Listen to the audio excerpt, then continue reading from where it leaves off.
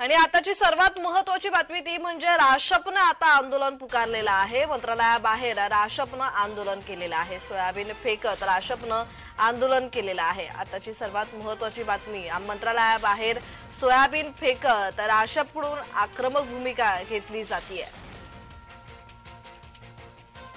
विधानसभा निवडणूक ही नोव्हेंबरमध्ये लागण्याची शक्यता आहे. मात्र त्याआधीच विरोधकांकडून सत्ताधाऱ्यांना घेरण्याचे प्रयत्न सुरू आहेत.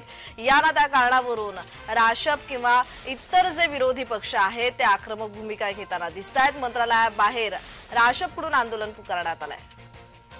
तर या संदर्भात अधिकची माहिती देत आहेत आमचे प्रतिनिधी शुभम उमाये शुभम या संदर्भातला अधिकचा तपशील.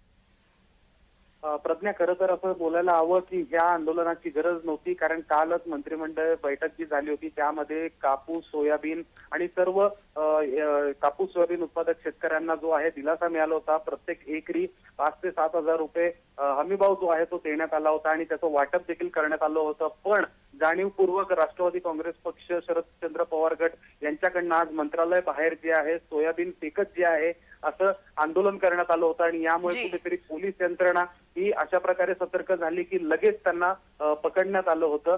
हे आंदोलन खरं तर करण्याची गरज नव्हती असं देखील ऐकण्यात येत आहे. पण तरी देखील मंत्रालयासमोर अशा प्रकारे अन्न फेकणं किंवा हे कितपत योग्य असे देखील प्रश्न आता उपस्थित होत आहेत.